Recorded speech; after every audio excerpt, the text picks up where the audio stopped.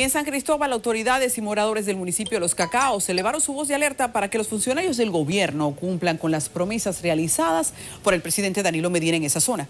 Carlos Valdés tiene detalles.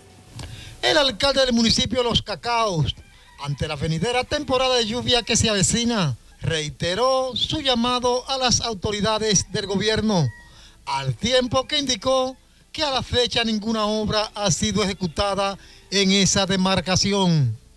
Cada vez que nosotros tenemos mal tiempo, después que pasa el tiempo, vienen las autoridades de obras públicas a hacer evaluaciones, pero jamás vuelven. Nosotros no queremos evaluación sin, sin resultados.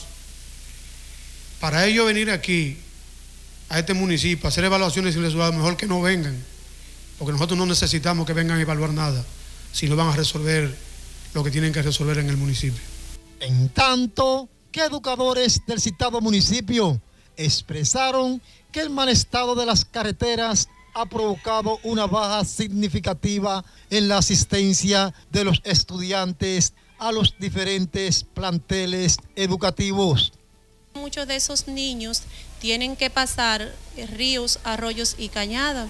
Además de esto, eh, tienen que trasladarse en el minibús que transporta a los estudiantes hasta los cacaos, los muchachos del liceo y por esa razón también no han podido llegar porque la carretera está muy deteriorada y el minibús no ha podido accesar a esta comunidad.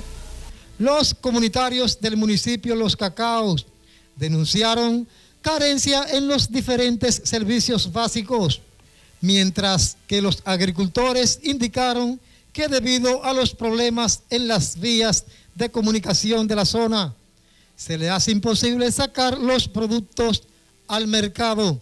Ahí estamos un poco aguantados de la lluvia, pero poco mojados. Ahora mismo no hay cómo porque la calle está muy mala.